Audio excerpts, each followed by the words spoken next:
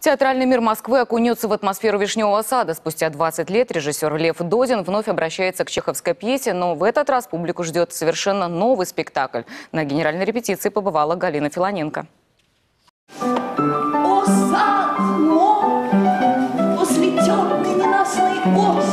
Раневская говорит о «Вишневом саде» несколько патетично, принимая красивые позы, как звезда немого кино. Впрочем, тут же сама над собой посмеивается.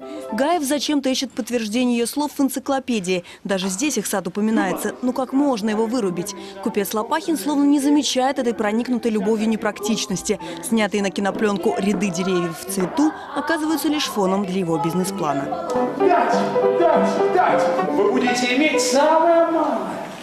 25 тысяч доходов. Лев Додин второй раз возвращается к теме «Вишневого сада». Впервые поставил эту пьесу еще 20 лет назад. Для меня много значила та первая работа, и поэтому я как-то не переставал ее анализировать, что вышло, что не вышло, что услышалось, что не услышалось. А во-вторых, Чехов, э, ну, такой автор, которым очень часто, э, ну, как это не банально звучит, поверяешь жизнь. Трагедия обитателей имения в этой трактовке Додина обретает новый смысл. К каждой личной драме примешивается неумолимо приближающаяся историческая катастрофа. Это не история личных взаимоотношений, да, как конкретных людей. Волна истории, которая набегает на песок, а они все, в общем, песчинки. Они все находятся во власти э, течения времени и истории. Новую версию «Вишневого сада» Лев Додин перенес со сцены прямо в зрительный зал. Вот, например, бильярдный стол, а рядом садовая лестница. А здесь старинный кинопроектор. Немного странное ощущение. Между зрителями и актерами никакой дистанции. Собравшиеся в зале словно гости в имении Раневской, участники чеховской трагикомедии.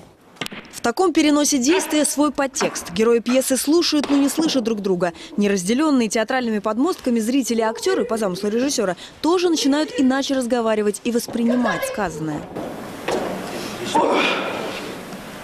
Вот если бы были деньги, о, вот хоть бы рублей сто, то ушла бы я подальше. Они не меняли пьесу, а как будто читали ее под увеличительным стеклом. Любовь Варии Лопахина в сегодняшней постановке на первом плане. Любовь обоюдная, но обреченная. Эти люди с двух миров никогда не могут быть вместе. Впрочем, фигура Лопахина, дельца-материалиста, у Додина совсем не столь однозначна. Мой вишневый сад. Вишневый сад мой! Это один из самых трагических персонажей в этой пьесе, А, потому что все его поступки, вот эта его энергия уничтожения, она спровоцирована его травмой, э, чудовищной страшной травмой э, психологической. Я купил имение, где мой отец и дед были рабами, где их не пускали даже на кухню. Мне кажется, что это п- получилась невероятно чеховская история по вкусу, по, по своей натуре, по, э, св- по своему внутреннему э, рисунку.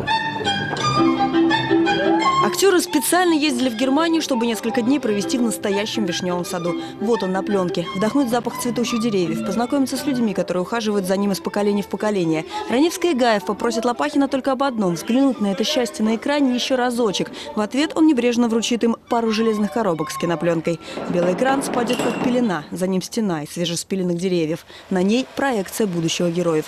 Время не пощадит никого. Галина Филоненко, Татьяна Бодрова, Роман Хроленко, Наталья Стоинова. Первый канал.